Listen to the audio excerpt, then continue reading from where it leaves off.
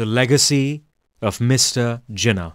As the nation celebrates Qaid Azam Muhammad Ali Jinnah's 141st birthday, we look back at a rare collection of photographs that attempt to reveal the various facets of his personality.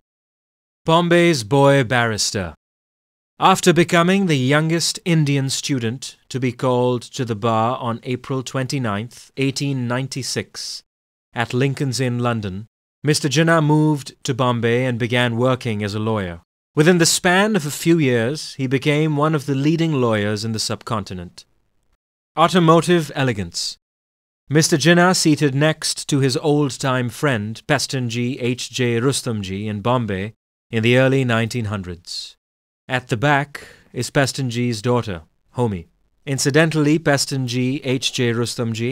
Was the maternal uncle of Ardeshir Cowasjee, the esteemed Dawn columnist. The wedding that shook Bombay.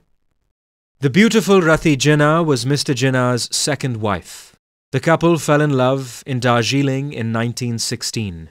Two years later, they were married, after Rati, who was a Parsi, converted to Islam despite virulent family opposition. An enduring friendship Mr. Jinnah smiles broadly as he stands next to his friend and political ally, Raja Muhammad Amir Ahmad Khan, popularly known as the Raja Sahab of Mahmudabad. Raja Sahab was the youngest member of the working committee of the All India Muslim League. In 1937, he founded the All India Muslim Students Federation, which soon became the backbone of the Pakistan movement.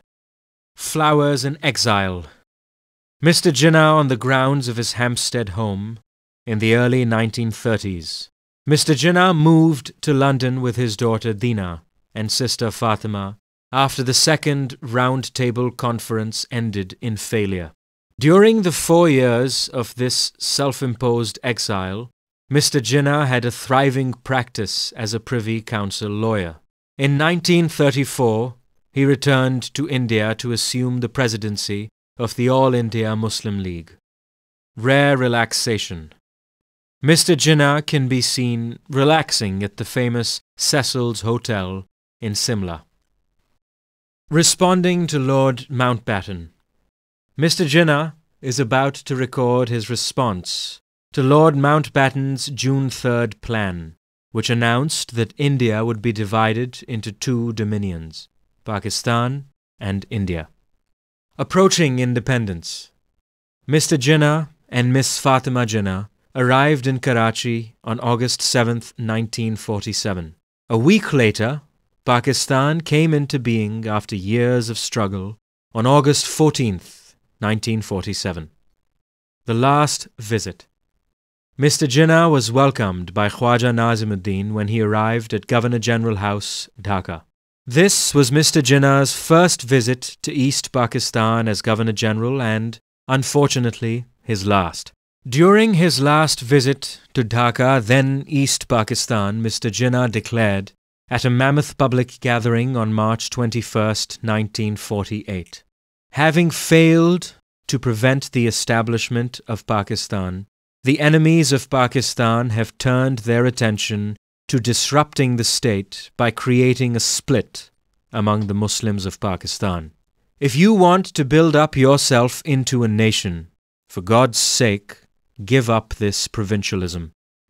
The founder of Dawn, Mr. Jinnah, in conversation with Altaf Hussain, the first editor of Dawn Karachi, who visited Mr. Jinnah to wish him a happy birthday on December 25, 1947, exactly 70 years ago. It was at the behest of his colleagues, including Altaf Hussain, that Mr. Jinnah agreed to be photographed reading Dawn, the newspaper he had founded. The headline on the front page of Dawn that day stated, 71 Today. There is a trace of a whimsical smile on Mr. Jinnah's lips as he glances at the newspaper.